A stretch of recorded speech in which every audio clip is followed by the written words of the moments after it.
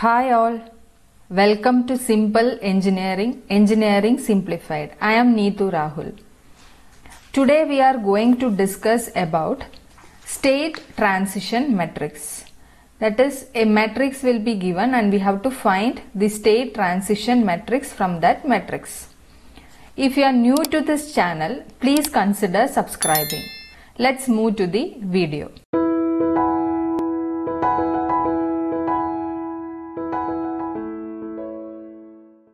The problem is consider the matrix A and compute state transition matrix e power at. So matrix is given as A equal to 0 1 first row and second row is minus 2 minus 3. So we have to find the state transition matrix.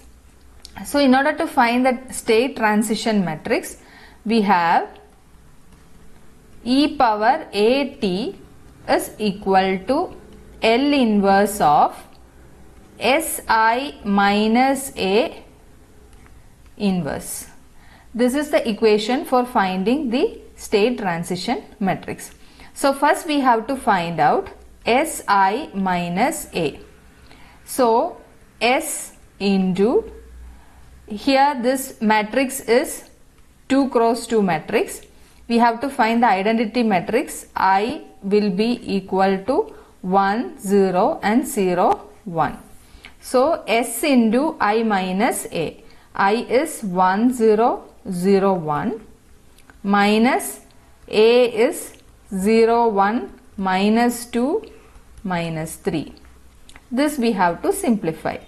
So here S into identity matrix will become S 0 0 S minus 0 1 minus 2 minus 3.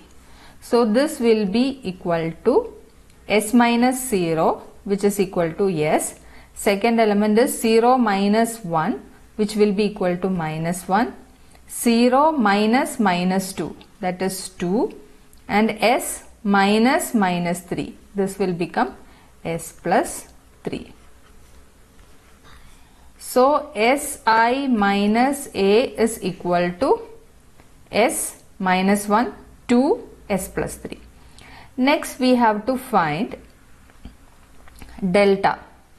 So delta is equal Si minus A that is determinant or modulus. So it will equal to you have to find the determinant from this matrix. So S into S plus 3 minus 2 into 1 2 into minus 1 that is it will become plus 2. So this is equal to S I am multiplying inside S square plus 3S plus 2 that is equal to S plus 2 and S plus 1. Then we have to find phi of S. Phi of S is equal to Si minus A inverse. So we have to find the inverse of this matrix which means cofactor of Si minus A transpose by determinant of Si minus A. This gives the inverse of this matrix. So determinant of Si minus A we have already done that is determinant is equal to S plus 2 into S plus 1. So here we can write 1 by S plus 2 into S plus 1. This is the determinant into cofactor of S minus A transpose. You have to find the cofactor and then the transpose. So transpose means what we are getting in the first row, it will become first column and second row will become second column.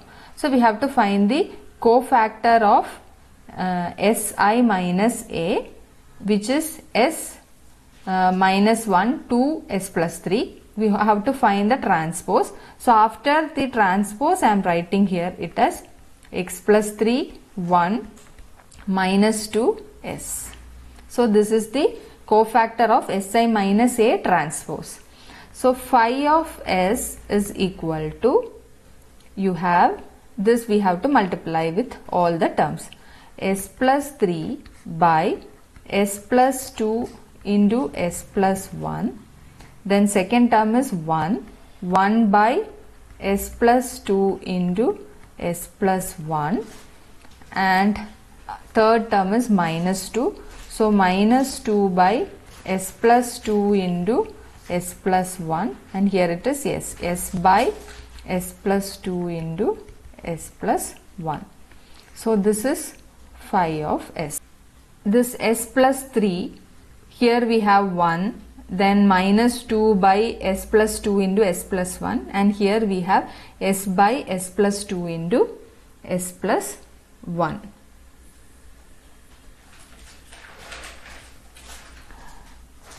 So this we can solve. So first one S plus 3 by S plus 2 into S plus 1. We can find the partial fraction which is A1 by S plus 2 plus B1 by S plus 1. So this is from this we have to find A1 and B1. So S plus 3 is equal to A1 into S plus 1 plus B1 into S plus 2. So from this we can take, we can equate uh, S, S terms and constant terms. So if you take this S plus 3 is equal to A1S plus A1 plus B1S plus 2B1. So S terms if you take you will get S is equal to A1 plus B1. Then if you take constant terms 3 is equal to A1 plus 2B1. Then you have to solve this and find A1 and B1. So here S uh, this this means here the coefficient is 1. So A1 plus B1 is equal to 1 and A1 plus 2B1 is equal to 3. If you subtract this, this will become, this will get cancelled. You will get minus B1 is equal to minus 2 which means B1 is equal to 2 and A1 plus B1 is equal to 1 so A1 plus 2 is equal to 1 therefore A1 is equal to 1 minus 2 which is equal to minus 1 so we have got A1 as minus 1 and B1 as 2. So this is the value of A1 and B1 that we have to substitute in that in your equation phi of S. So here we have S plus 3 by S plus 2 into S plus 1 which is equal to A1. A1 means it is A1 is minus 1 and B1 is 2. So here we have minus 1 by s plus 2 plus 2 by s plus 1. So this we can write it as 2 by s plus 1 minus 1 by s plus 2. But We have to find the partial fraction for all these terms and find a1 and uh, so this here you can write it as a2 uh, here it is uh, A3 and B3 here it can be A4 and B4 like that we have to find. So this phi of s I can after finding the partial fraction this equation will be 2 by s plus 1 minus 1 by s plus 2 this is the first term. Second term is 1 by s plus 1 minus 1 by s plus 2 third term is minus 2 by s plus 1 plus 2 by s plus 2 and fourth term is minus 1 by s plus 1 plus 2 by s plus 2. So you will get the phi of s as this one. Then e power at. e power at means it is phi of t that is you have to find the Laplace inverse of phi of s L inverse of phi of s gives phi of t. So Laplace inverse of this equation this uh, matrix will give your phi of t which is your e power at. So 2 by s plus 1 is 2 into e power minus t minus this is e power minus 2t like that you have to write. So your e power at phi of t will be equal to 2 e power minus t minus e power minus 2t minus 2 e power minus t plus 2 into e power minus 2t and e power minus t minus e power minus 2t. This term will be minus e power minus t plus 2 e power minus 2t. So this is the transition matrix, state transition matrix. That is your phi of s will be equal to 2 by s plus 1 minus 1 by s plus 2. So L inverse of this one.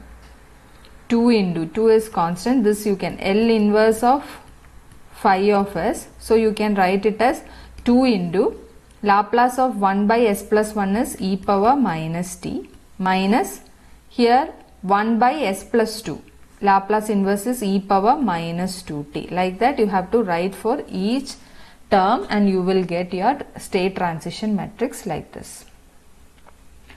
Hope this is clear for everyone.